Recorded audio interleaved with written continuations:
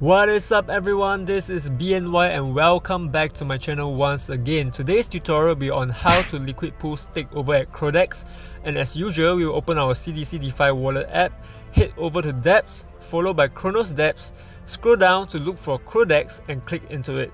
And now the first thing we have to do is to add liquidity to the pool. So we will click on the three dash icon at the top left hand corner, click on pool and add liquidity.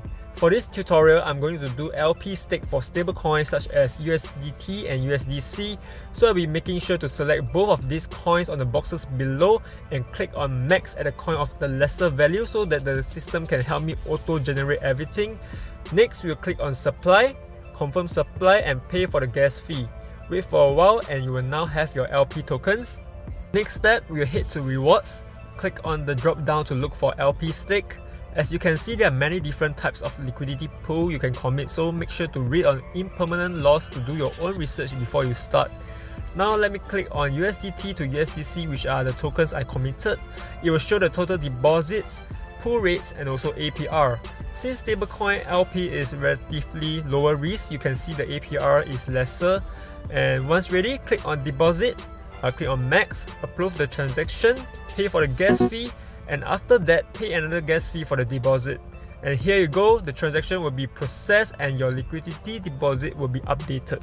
Below, you will show your unclaimed CRX which are your earnings. You can click claim to withdraw it into your wallet whenever you want. And lastly, you can also withdraw and claim everything and do take note once you withdraw your stablecoins will still be in the form of LP tokens.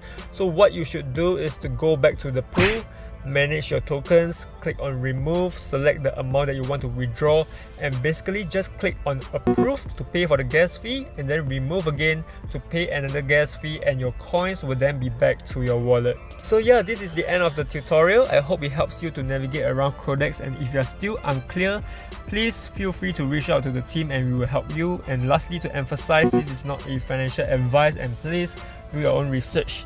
Stay safe and I will see you in the next one.